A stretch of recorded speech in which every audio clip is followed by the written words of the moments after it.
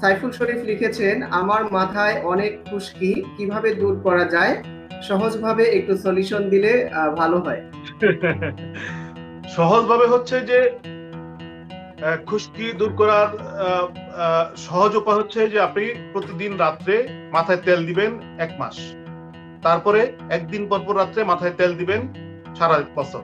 এটা হলো এক নাম্বার উপদেশ। আর দুই নম্বর উপদেশ হচ্ছে যে, আপনি কিটোকোনাজল জাতীয় শ্যাম্পু মাথায় লাগিয়ে পাঁচ মিনিট রেখে তারপর গোসল করবেন।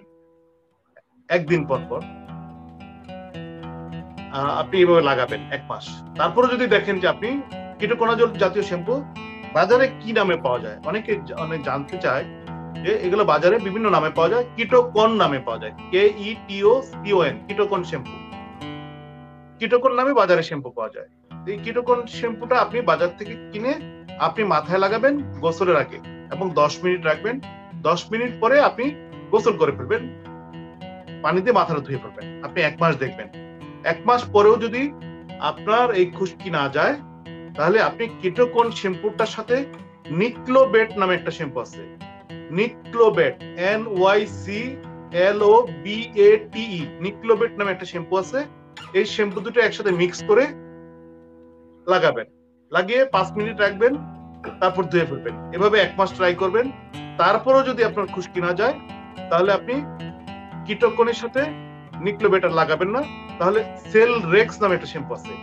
এস ই এল আর এক্স এই দুটো শ্যাম্পু একসাথে মিক্স করে পাঁচ মিনিট করে রাখবেন, একদিন পর পর মাথায় লাগাবেন। আশা করি আপনার খুশকি কমে যাবে। যদি কমে যায় তাহলে আপনি দুই দিন পর পর লাগাবেন, তারপরে তিন দিন পর পর লাগাবেন, তারপরে আরও ভালো হয়ে গেলে চার দিন পর পর একদম ভালো হয়ে গেলে সপ্তাহে একবার লাগাবেন।